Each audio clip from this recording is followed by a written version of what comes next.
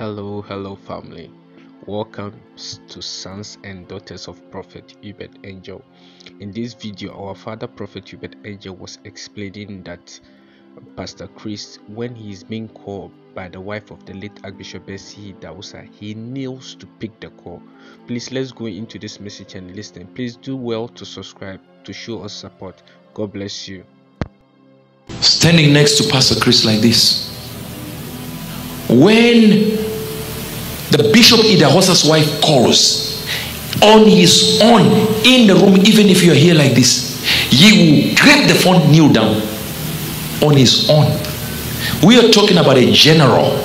We are talking about somebody who in the kingdom right now is the apostle of the dispensation, but still kneels down to a woman who calls. Even when the woman does not know it.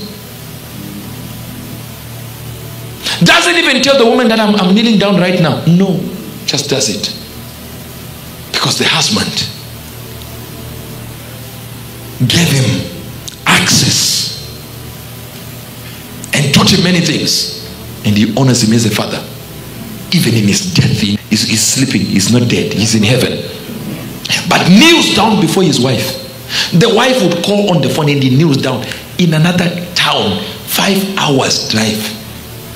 Has no idea someone is kneeling down answering my phone. Never kneel down before a man who doesn't kneel before anyone. You'll be worshiping that man, thinking you're worshiping God.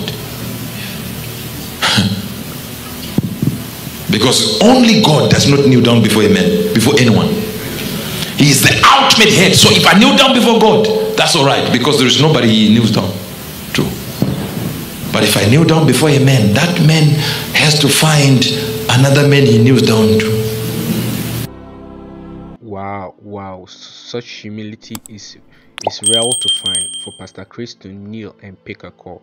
Please show us support by subscribing to our channel. God bless you. See you in my next video.